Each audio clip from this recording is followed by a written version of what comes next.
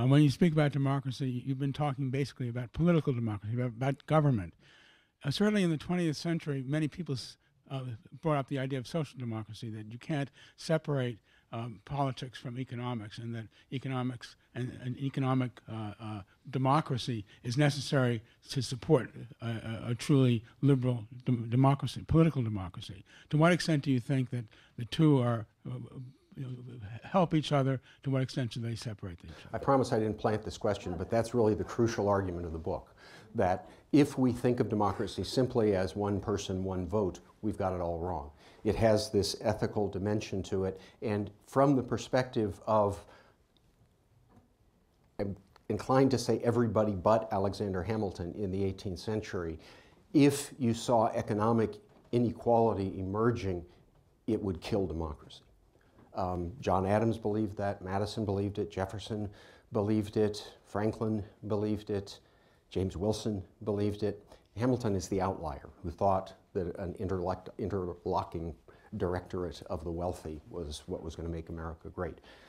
Everybody else was in agreement that from the ancient world on, it was understood that self government would only work if the people had sufficient independence as individuals to feel as though they had a share in the government. That's the central argument, I think, in Tocqueville.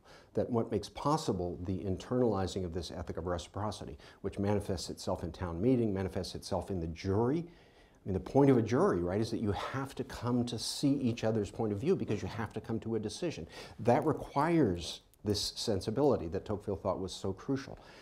He argued, invoking the 18th century uh, writers who had made these arguments, that this can only work if people are more equal rather than more unequal. The contrast he drew between the French aristocracy that owned everything and had all the political power and everyone else who had neither was, from his perspective, the reason why France was destined not to nurture a democracy and why the United States, if it could contain these dynamics that were beginning in the Jackson era to spread apart different people in the different regions, if it could contain that dynamic, then it could continue to survive as a democracy.